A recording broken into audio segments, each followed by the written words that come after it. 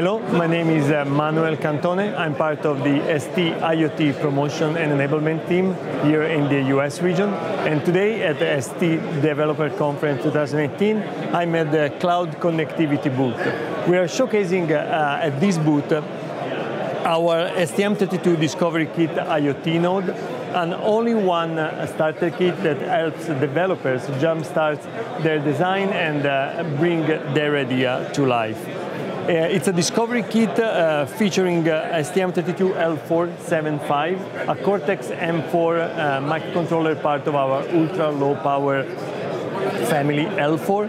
Uh, it's connected uh, to the internet via uh, Inventek Wi-Fi module, ISM 43662, and it has other means of connectivity like BLE, sub-gigahertz, and NFC dynamic tag.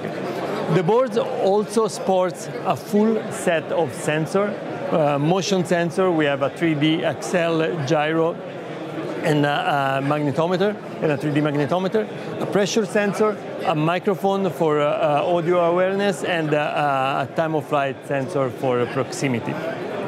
The board is also expandable. Uh, it has uh, two means of expandability, the PMOD connector and the Arduino connector. This is an excellent starting point to jumpstart your IoT and node design, and it will be used also uh, during the conference at our STLT CATM uh, IoT hands-on seminar. Uh, with a cellular modem connected through Arduino connector.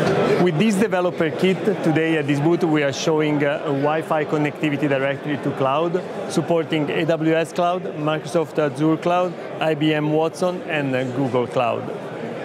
If I go to Amazon Web Services, you will find here a description of the various firmware uh, expansions uh, available for uh, this uh, Discovery Kit.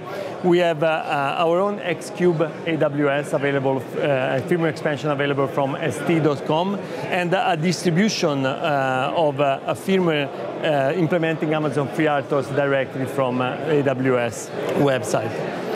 Among the main features of, uh, of this device, you have a connection and subscribe to the IoT service via MQTT, and uh, uh, this is expandable to uh, stream live sensor data to the cloud for data analysis, and uh, it's compatible in the Amazon FreeRTOS port with both IoT Core and AWS Greengrass.